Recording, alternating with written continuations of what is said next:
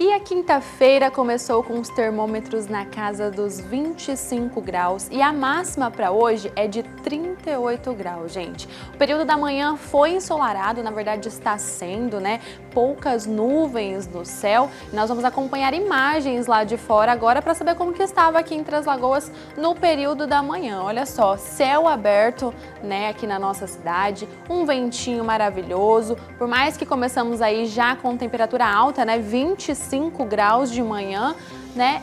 Céu aberto, solzão aí já trabalhando. Agora à tarde, né? O sol geralmente pode ficar escondido. Pois é, segundo o Instituto de Meteorologia, o sol fica escondido agora na parte da tarde e o número de nuvens aumentam com possibilidade de pancadas de chuvas em áreas isoladas. E amanhã o dia fica nublado aqui em Três Lagoas. Vamos conferir agora no nosso painel, né, como que fica o tempo amanhã aqui em Três Lagoas.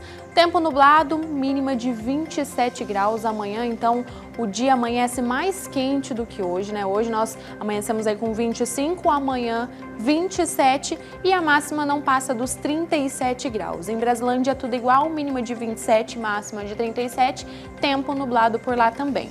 Em Água Clara tem previsão de chuva no período da tarde, a mínima por lá é de 26 e a máxima de 37 graus. Em Aparecida do Tabuado, mínima de 26 e máxima de 37 também, com previsão de chuva no período da tarde em áreas isoladas. Paranaíba, mínima de 25, máxima de 37 Inocência mínima de 24 e máxima de 39 graus.